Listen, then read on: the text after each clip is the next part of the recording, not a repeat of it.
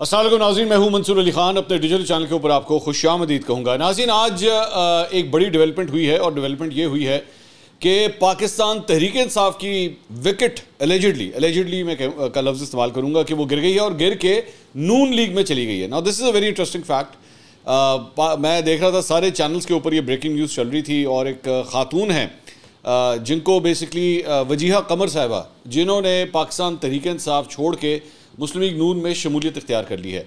अच्छा लेकिन इसके पीछे एक कहानी है पूरी। ज़रा इसको थोड़ा सा आपको एक्सप्लेन करने की ज़रूरत है। मुझे लग रहा है कि पूरी डिटेल्स जो है वो मीडिया के ऊपर नहीं बताई गई हैं।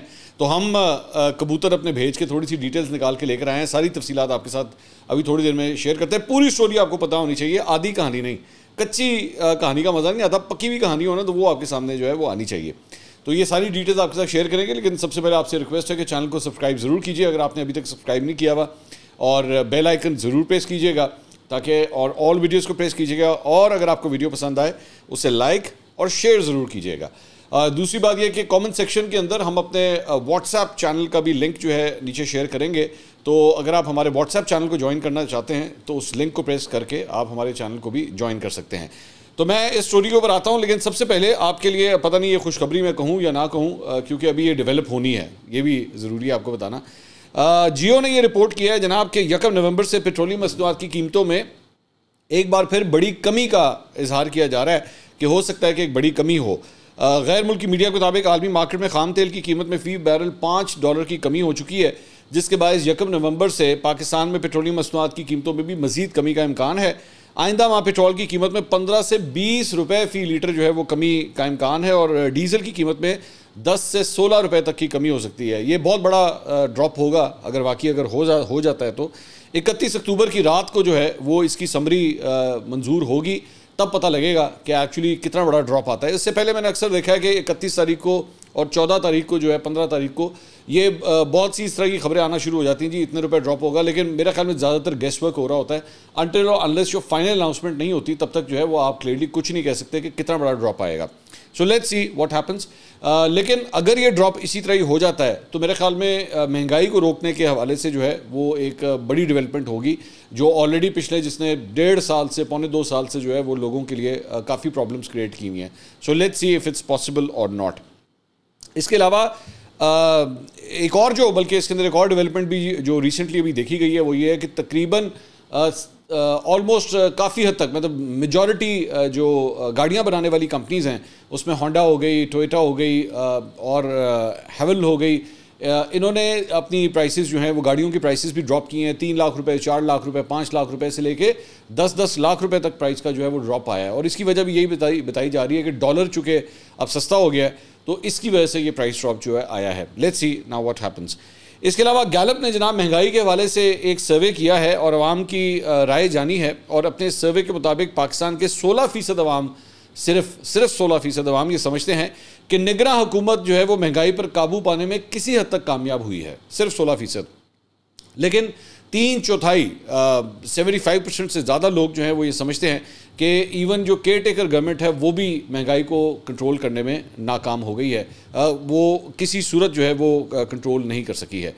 अच्छा जी इसके अलावा एक्सप्रेस में एक बड़ी इंटरेस्टिंग खबर आई है और वो ये है कि इस्लामाबाद के दो बड़े अस्पतालों पिम्स और पोली क्लिनिक की सरबराही के लिए पाक फौज से तैनातियों का फैसला किया गया है।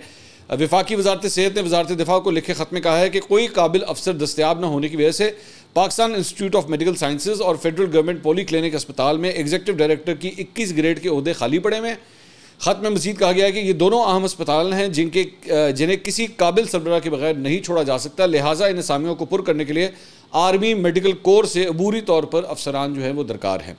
आपसे दरख्वास्त है कि तीन साल के लिए डिप्यूटेशन पर हस्पताल को चलाने वाले दो काबिल मैनेजर्स की दस्तियाबी से आगाह करें।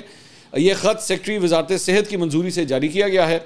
दस्तियाबी दूसरी जानब वजारत सेहत के तर्जमान की तरफ़ से बयान में कहा गया है कि इस्लामाबाद के बड़े अस्पतालों के सबरान की भर्ती रिक्रूटमेंट रूल्स के मुताबिक होगी।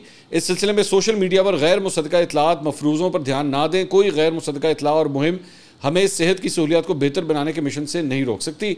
वजारत सेहत आवाम को सेहत की बेहतर सहूलियात फराम करने के लिए बेहतरीन उम्मीदवारों के इंतब का अज़म रखती है। तो ये बेसिकली ख़बर है कि इसमें स्टोरी में कहा गया है कि आर्मी की मेडिकल कोर्स से जो है, दो ऑफिसर्स जो हैं, मोस्ट प्रॉब्ली इन दो अस्पतालों की सरबराही के लिए डेपुटेशन के ऊपर जो है, यहाँ पर आएँगे। अच्छा जी, इसके अलावा आलमी तंजीम फ्रीडम नेटवर्क ने अपने खसूसी रिपोर्ट में पाकिस्तान को कानून साजी के बावजूद सहाफ़ियों के ख़िलाफ़ जराइम रोकने में नाकाम करार दे दिया है। जर्नलिस्ट के हवाले से ये बड़ी एक अहम खबर है। फ्रीडम नेटवर्क ने जारी करदा अपनी रिपोर्ट में कहा है कि पाकिस्तान सहाफ़ियों के तहफ़ से मुतल कानून साजी करने वाला वाद मुल्क है। इसके बावजूद पाकिस्तानी रियासत सहाफ़ियों के खिलाफ जराइम को रोकने के लिए इस कानून साजी को इस्तेमाल करने में नाकाम रही है। रिपोर्ट के मुताबिक गुजशत दो साल में पाकिस्तान में सहाफ़ियों के अगवा तशद बगावत के गैर साबित शुदा इल्ज़ाम में ख़तरनाक हद तक इजाफा हुआ है। और इसमें यह भी कहा गया है कि पाकिस्तान में सहाफ़ियों के ख़िलाफ़ जराइम के सबसे ज़्यादा वाक़ात इस्लामाबाद और सिंध में पेश आए हैं। तो this is a very big concern for the journalist community media की फ्रिटरिटी से जो लोग ताल्लुक़ रखते हैं, उनके लिए ये बड़ी एक परेशान कन खबर है। अच्छा जी, इसके अलावा शेर अफजल मरवत साहब हमारे भाई बड़े गुस्से में होते हैं उन्होंने माशाल्लाह मेरे ख़िलाफ़ भी जो है वो काफ़ी ट्वीट श्वीट्स वगैरह किए हैं। गुस्से में ठीक है, खैर है, गुस्से की तेज़ है मेरे भाई। तो वो उधर रवाना हो गए हैं इंग्लैंड पहुँच गए हैं और वहाँ पे उनकी वो सारा मीर साहिबा, वो जो एक याद है बेल्जियम वाली हमारी जो बाजी हैं उन्होंने उनका इस्तकबाल किया वहाँ पे। सारा मीर साहिबा की ये वीडियो भी जो है वो आई हुई है सामने इसमें उन्होंने आ, कहा कि जी शेर अफजल साहब ये बताएँ कि पाकिस्तान को जो जुडिशरी सिस्टम है वो बढ़ गया है। माशाल्लाह। तो शेर अफजल मरवत साहब ने कहा जी पाकिस्तान का पूरा निज़ाम कानून निज़ाम गवर्नेंस निज़ाम पुलिस सब बढ़ गया है। तो बढ़ गया बढ़ गया हो गया। मतलब ये आपस की गुफ्तु हो रही है। सारा मीर साहबा कहती है शेर अफजल साहब को हम दिल की गहराइयों से वेलकम करते हैं। क्योंकि ये हमारे मुर्शद के वकील हैं, इमरान खान के वकील हैं, इमरान खान साहब जो पाकिस्तान की उम्मीद हैं तो ये उनको रिप्रेजेंट कर रहे हैं। तो हमारी जो पूरी टीम है वो अपनी कीमती टाइम में से टाइम निकाल कर शेर अफजल साहब के लिए यहाँ आई है, जैसे ये पाकिस्तान में लड़ रहे हैं। हम यहाँ लड़ रहे हैं और ये एक कम्बाइन कोशिश है। इन हम उनका बहुत अच्छा वेलकम करेंगे। उनको पता चलेगा कि ओवरसीज़ पाकिस्तानीज़ कितनी ज़्यादा इमरान खान से मोहब्बत करते हैं और कितनी ज़्यादा उनके वकीलों से मोहब्बत करते हैं। तो उम्मीद है कि शेर अफजल मरवत साहब का टूर जो है वो अच्छा गुजरेगा। इसके अलावा, अब आ जाएँ उस स्टोरी के ऊपर जिसका मैं ज़िक्र कर रहा था कि वो सारे चैनल्स के ऊपर जो है वो आज ये स्टोरी चली कि जनाब मुस्लिम नून ने जो है वो पाकिस्तान तहरीक इंसाफ की एक विकेट गिरा दी है। बेसिकली हुआ क्या है कि वजीहा कमर साहिबा हैं, ये सबका एम एन ए है कौमी असम्बली से, पाकिस्तान तहरीक इंसाफ की। उन्होंने शबाज शरीफ साहब से मुलाकात करके और उसमें अताउल्ला तारड़ साहब भी बैठे हुए थे तो उन्होंने नून लीग में शमूलियत का जो है वो बाकायदा ऐलान हो गया है। जो रस्म वगैरह होती है वो सारी हो गई है। और इसमें शबाज शरीफ साहब ने इस मुलाकात के बाद जो है उनको वेलकम किया। वजिया कमर साहबा ने कहा कि जी, नवाज़ शरीफ, शबाज शरीफ और पार्टी मंशूर पर मुकम्मल अतमाद करती हूँ। नवाज़ शरीफ की क्यादत में मुस्लिम नून ने पाकिस्तान की तमीर और तरक्की में तारीखी किरदार अदा किया। तमीर की कुत का साथ देना, तकरीब की कुत ने मुल्क और अवाम को नुकसान पहुँचाया। कल कायद नवाज़ शरीफ के इस्तबाल में शामिल होंगी। अच्छा तो बेसिकली अब इनके कायद होंगे नवाज़ शरीफ साहब। लेकिन ये पूरी स्टोरी नहीं है। स्टोरी आपको कंप्लीट पता होनी चाहिए। स्टोरी ये है कि बेसिकली वजीहा कमर साहिबा जो हैं, इनका ताल्लुक है वही, वो जो राजा रियाज ग्रुप है ना, ये वो पाकिस्तान तरीके इंसाफ के लोग, जिन्होंने एक्चुअली बगावत कर दी थी। और जो वोट ऑफ़ नो कॉन्फिडेंस होने लगा था, इनका वोट नहीं डलवाया गया था, लेकिन ये उन एम एन एज में से शामिल हैं, कौमी असम्बली से, जिन्होंने पाकिस्तान तरीके इंसाफ से बगावत कर दी थी। और उसके बाद पाकिस्तान तरीके इंसाफ की जानब से इनको नोटिस भी जारी हुए थे। चौदह एम एन एस को जो है, वो नोटिस भी जारी हुए थे। और ये इन्होंने, उसके बाद जब ये सब कुछ हो रहा था तो पाकिस्तान तहरीक इंसाफ की जानब से शदीद इनके खिलाफ एहतजाज किया गया था इनके घर के बाहर एहतजाज किया गया था और आपको याद होगा वो लोटे शोटे वगैरह और ये सारी चीज़ें जो है इनके खिलाफ ये बेसिकली एहतजाज हुआ था। सो so, अब अगर आप टेक्निकली कहें कि क्या ये वाकई पाकिस्तान तरीके इंसाफ में थी या ये कहा जा सकता है कि पाकिस्तान तरीके इंसाफ की विकेट गिरा गिरा दी गई ये आपके ऊपर है। How do you want to मैं वो दोबारा जिस तरह मैं कहता हूँ डिपेंड करता है आप टेबल की किस साइड पे बैठे हुए तो एक किस्म का टेक्निकली स्पीकिंग तो इन्होंने जब वोट ऑफ़ नो कॉन्फिडेंस हुआ था तो उधर ही पीटीआई इन्होंने छोड़ दी हुई थी। जारी बात अपनी लॉयल्टी इन्होंने उसी वक्त चेंज कर ली थी। तो दूसरी बात यह कि बाद में इन्होंने एक हामिद मीर साहब के शो के अंदर शिरकत की थी, और उस शो के अंदर इन्होंने बड़ा एक इंटरेस्टिंग वाक़ ये हुआ था कि कुरान मजीद के ऊपर हाथ रख के इन्होंने बात कही थी कि जी इमरान खान साहब ने जो है हमसे झूठ बोला था रियासत मदीना की ये बातें करते हैं लेकिन करप्शन के अंदर जो है वो आ, इनकी फैमिली और बनी गाला के अंदर जो मुकीम लोग हैं उनके नाम बीच में आते हैं। और आ, मेरे साथ देखें क्या किया गया मेरे घर के ऊपर दीवार के ऊपर चढ़ के जो है वो आ, मेरे ख़िलाफ़ नारेबाजी की गई पाकिस्तान तरीके इंसाफ की जानब से। मेरी अठारह साल की बेटी को जो है वो मैसेजेस भेजे गए बच्चों को मैसेजेस भेजे गए बच्चों बच्चों को धमकियाँ दी गई और आ, मेरे साथ ये ये सब कुछ हुआ है। तो ये और ये सारा कुछ, ये जो हामिद मीर साहब का प्रोग्राम है, इस बात को अब तकरीबन कोई वही जिस तरह मैं कह रहा था ना, डेढ़ पौने दो साल हो चुका हुआ है। ये जब ये सब कुछ ऑलरेडी हो चुका हुआ है। सो अब डेढ़ पौने दो साल के बाद क्या आप ये कह सकते हैं कि वाकई उन्होंने पाकिस्तान तरीके इंसाफ की विकेट गिरी है? ये टेक्निकली स्पीकिंग तो अब पाकिस्तान तरीके इंसाफ की विकेट थी नहीं। ये डेढ़ पौने दो साल पहले ही पाकिस्तान तरीके इंसाफ को खुदाफिज कह चुकी हुई थी। रस्मी तौर पर आप ये कह सकते हैं कि सबका पी टी आई की एम एन ए मतलब जब तक ये थी। तो ये, बल्कि आप ये स्क्रीन के ऊपर देखिएगा, इनके जो, इनका जो फेसबुक का पेज है, उसके ऊपर आज भी इमरान खान साहब के साथ इनकी कई तस्वीरें और पोस्टर्स वगैरह जो हैं, वो आज भी वहाँ पर मौजूद हैं। अच्छा जी, हिबा फवाद चौधरी साहबा, जो फवाद चौधरी साहब की अहलिया हैं, उन्होंने एक्चुअली इसके ऊपर ट्वीट भी किया। इन्होंने कहा, जी, पार्लियामेंट के उम्मीदवारों का नून लीग में शमूलियत का ड्रामा जारी एक ही हल्के के मुताद उम्मीदवार जब नून लीग में शामिल होंगे तो सियासी खिचड़ी ही बनेगी। नून लीग में शामिल होने वाले अपनी तरफ़ से तो अपनी सियासत को बचाने की कोशिश कर रहे हैं, लेकिन दरअसल नून लीग में शमूलियत अपनी सियासी पाँव पर कुल्हाड़ी मार रहे हैं। तो उन्होंने इस शमूलियत के ऊपर भी जो है, वो ये कॉमेंट्री की है। इसके अलावा एक बहुत ही अफसोसनाक खबर आई है कि मौलाना तारिक जमील के बेटे आसिम जमील उनके बारे में अभी तक मुतजाद इतलात हैं, जब तक ये वीडियो रिकॉर्ड हो रही है कि वो जहाँ भाग हो गए हैं। अब एक खबर जो इनिशियली अभी तक आई है, वो ये है कि उनके सीने में गोली लगी है। कुछ का ये कहना है कि ये खुदकुशी का मामला है, कुछ का ये कहना है कि ये बेसिकली उनके ऊपर फायरिंग हुई है। यहाँ पे हवाई फायरिंग की भी बात हो रही है। बहुत ही मुतजाद इतलात हैं, लेकिन इंतहाई अफसोसनाक खबर मेरे ख्याल में मौलाना तारिक जमील साहब के लिए, उनकी फैमिली के लिए बहुत ही अफसोसनाक खबर है कि ये हादसा पेश आया है। अब देखना यह है कि पुलिस इस बारे में जो है क्या डिटेल्स जारी करती है, लेकिन चूँकि अभी बिल्कुल इनिशियल ये तफसीलात हैं, इसलिए वाज तौर पर कुछ कहना बहुत कबल वक्त होगा कि यह हादसा किस तरह पेश आया है। लेकिन इस वक्त मुल्तान की जो पुलिस है ख़ास तौर पे वो भी इसकी तहकीकात कर रही है और मियाँ चन्नू के जो के जो पुलिस ऑफिसर्स हैं, वो भी इसकी इन्वेस्टिगेशन कर रहे हैं। हमें जैसी अपडेट्स कोई मिलती हैं तो अगली वीडियो में आपको इसकी सारी तफसीत से आगाह करते हैं। इसके अलावा जनाब, पाकिस्तान तहरीक इंसाफ के रहनुमा और पी पी नौ के सबक M P A Chaudhry Sajid Mahmood ने रावलपिंडी प्रेस क्लब में प्रेस कॉन्फ्रेंस की। उन्होंने कहा, मैंने 2008 में पी टी आई ज्वाइन की थी और दो इलेक्शन लड़े, एक हारा, एक जीता। नौ मई वाक़ात की मजम्मत करता हूँ। दिल खराश वाक़ था, मुल्क को हिलाकर रख दिया। हर सियासी जमात ने इसकी मजम्मत की। अदलिया से अपील करता हूँ इस मामले को जल्दी निपटाया जाए, जो मुलविस है, उनको कड़ी सजा दी जाए। पी टी आई वर्कर्स से मैं माफ़ी माँगता हूँ। पी टी आई को छोड़ने का ऐलान करता हूँ। इसके बाद मेरा कोई पी टी आई के साथ लेना देना नहीं है। आज़ाद लड़ना या सियासी जमात को ज्वाइन करना है, एक दो हफ़्ते में मीटिंग कॉल करके फैसला करेंगे। सहाफ़ियों ने उनसे सवाल करना चाहा, वो जब जारी बात है, आप अपनी एक स्टेटमेंट देते हैं, उसके बाद सहाफ़ी वहाँ पर सवाल करते हैं। जब वो सवाल करने लगे तो उन्होंने आगे से कहा, जी, मेरी गुजारिश सुनना बयान मेरा रिकॉर्ड हो गया है। मैं अपना तारुफ ही करवाया, पार्टी भी छोड़ दी है। तो सहाफ़ी ने उनसे सवाल किया कि आप पर कोई प्रेशर था? तो साजिद महमूद साहब ने कहा, बस भाईजान, मेहरबानी करो ना। तो साफ़ी ने कहा, ठीक है। इसके बाद साजिद महमूद साहब माइक रख कर वहाँ से चले गए। उन्होंने सवालों के जवाब नहीं दिया उन्होंने कहा मेहरबानी, बस जान दो मेहरबानी मैंने। तो ये जनाब, एक वाक़ ये हुआ है।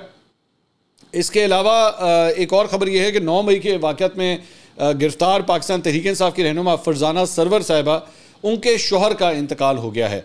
और उनका इंतकाल जो है वो ब्रेन हैमरेज की वजह से हुआ है। ये खबर भी अभी अभी थोड़ी देर पहले मैंने देखी है।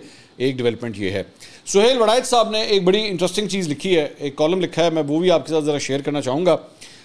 उसमें बेसिकली ये जो असद कैसर और अली मोहम्मद खान साहब की जो मुलाकात हुई थी, मैं, मैंने उसके ऊपर अपना पॉइंट ऑफ़ व्यू दे दिया हुआ है। लेकिन सुहेल वड़ायत साहब का भी पॉइंट ऑफ़ व्यू मैं आपके साथ शेयर करना चाहूँगा।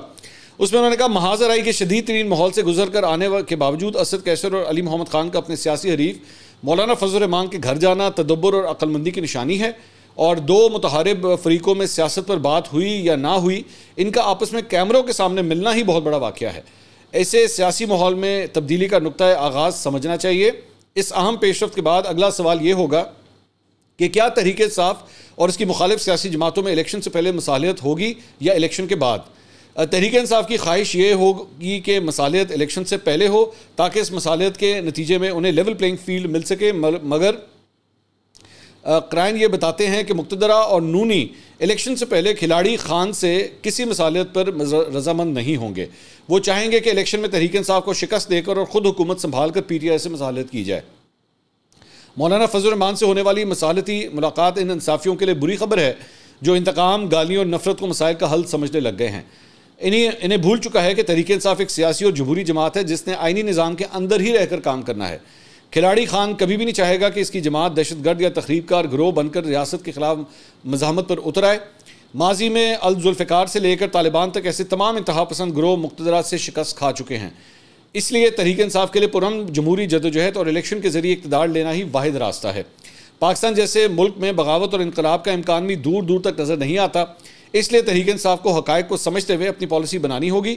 सोचा ना था कि असद कैसर और अली मोहम्मद खान के हाथ ये सादत आएगी कि वो रूठी और दिल बर्दाश्त तहरीक इंसाफ को दोबारा मेन स्ट्रीम सियासत पर लाने की राह हमवार कर सकें। तहरीक इंसाफ को चाहिए कि चौधरी परवेज लाई और शाह कुरैशी को मुख्तरा के साथ मुजाकर का मैंडेट दें और अपना यह पैगाम पहुँचाएँ कि वो पुरम जमहूरी सियासत करना चाहते हैं। नौ मई का वाक़ एक बड़ी गलती थी जिससे सबक सीखकर वो आइंदा की सियासत में नया रास्ता बनाना चाहते हैं। मेरे ख्याल में बहुत अच्छी बात की है।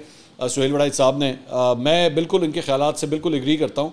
लेकिन इस के एक अच्छी डेवलपमेंट है कि आप दीगर सियासी जमातों से रबता कर रहे हैं अपने दिमाग को खोलें ज़रा।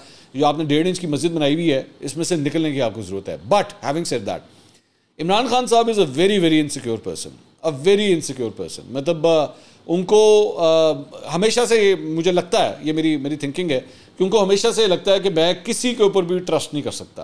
क्योंकि अगर मैंने ट्रस्ट किया तो मैंने जो इतनी देर मेहनत करके ये सारी पार्टी बनाई है, ये मेरे हाथ से निकल जाएगी। और लोग जो है ना, उसके बाद नाराज़ हो सकते हैं, पीटीआई के फॉलोअर्स वोटर्स जो है, वो नाराज़ हो सकते हैं कि क्या किया आपने। लेकिन मैं नहीं समझता।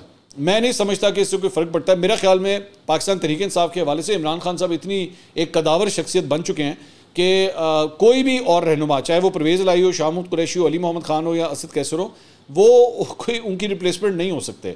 वो बैकड्रॉप में भी रह के सब कुछ कर सकते हैं और हालात और वाक़ात के मुताबिक आपको अपने आप को एडजस्ट करना चाहिए, ऐसी बात नहीं है। नवाज़ शरीफ साहब ने भी किया हुआ है। माजी के अंदर जब वो पाकिस्तान से बाहर चले गए थे तो उसके बाद भागदौड़ जो है, वो किसी और के हवाले करके गए थे। मतलब ये इस मतबा तो खैर मजबूरी थी कि अपने भाई शहबाज शरीफ को देना पड़ा था, लेकिन इससे पहले जावेद हाशमी को ये सारी जिम्मेदारियाँ वो दे के जा चुके हैं। माजी के अंदर जब वो पहले गए थे सऊदिया, जब मुशरफ साहब के दौर के अंदर। सो इसमें कोई फ़र्क नहीं पड़ता। कम अज़ कम आपके पास अगर ब्रीदिंग स्पेस मिल जाती है, इसके ज़रिए अगर आपका बैलेट के ऊपर जो है बल्ला आ जाता है तो इसमें कोई बुरी बात नहीं है। लेकिन मेरा नहीं ख्याल कि इमरान खान साहब जो है ना, वो इतना सिक्योर फील करेंगे या वो कहेंगे हाँ जी, ठीक है। आई डोंट थिंक सो इसके अलावा एतजाज़ अंसर साहब ने मीडिया से गुफ्तु की। उन्होंने कहा कि जी नवाज़ शरीफ को मौका मिला, उसने सबको ज़ीरो कर दिया। नवाज़ शरीफ खुद वजी अजम भी बनना चाह रहे थे, बन जाए, मुल्क में निज़ाम तो है ही नहीं। आइन कहता है कि इकतदार का ताल्लुक अल्लाह से है, जो कि मुंतब लोगों के ज़रिए तश्कील पाता है। जब मुंतब लोग ही नहीं तो निज़ाम कैसा? कई बार मेरे पहले भी पीपल्स पार्टी के साथ इख्तलाफात हुए हैं, कभी वो मेरी बात मान जाते हैं, कभी नहीं मानते, कभी मेरी बात ठीक हो जाती है, कभी पीपल्स पार्टी की बातें ठीक होती हैं।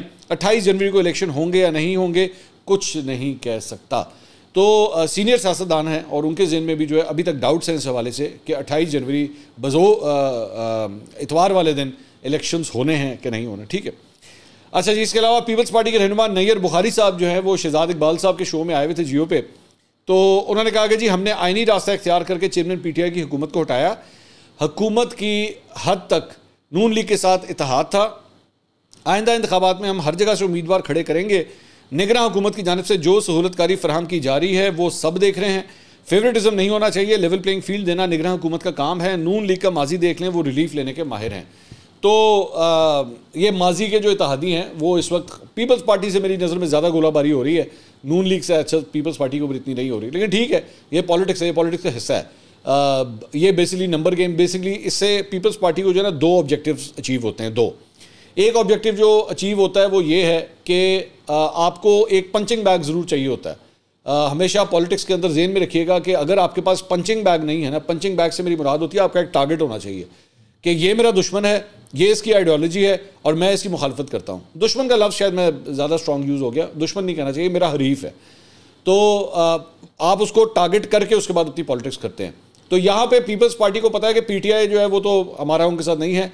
नून लीग के हवाले से जो है वो हमने इसको अपना पंचिंग बैग बनाना है। दूसरा, इस तरह करने से जो 16 माह की आपकी इतिहादी हुकूमत थी, सारा गंद, सारा मलबा, सारा कचरा जो है वो आप नून लीग के ऊपर डाल देंगे और इससे आप बिल्कुल बरी जिम्मा हो जाते हैं। आप हम तो देखें हम तो नून लीग के कितने खिलाफ हैं, जबकि 16 माह जो है वो आपने इकतदार के मज़े लिए हैं।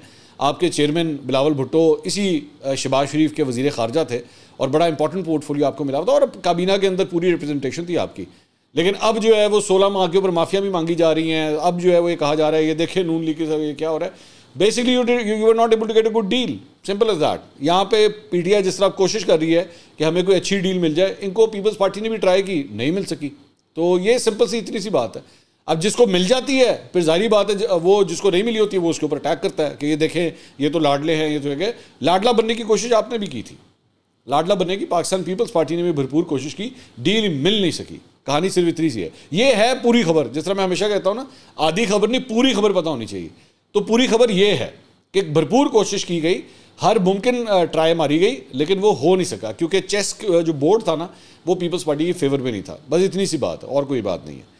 अच्छा जी, इसके अलावा अलीमा खान साहबा इमरान खान साहब की जो बहन है, उन्होंने एक दो दिन पहले मीडिया से गुफ्तु की थी, और वहाँ पे उन्होंने हफीज़ुल न्याजी साहब जो हसान न्याजी साहब के वालिद साहब हैं उनके बारे में थोड़े से सख्त अल्फाज इस्तेमाल कर दिए थे कि जी हमारा तो दस साल से जो है इनके साथ कोई लेना देना नहीं है और ये अगर आरिफ अलवी साहब से जाके मिले हैं तो नून लीग के नुमाइंदे के तौर पर जाके मिले हैं। थोड़ी सी सख्ती जो है वो अपने बहनोई के हवाले से उन्होंने इस्तेमाल की थी।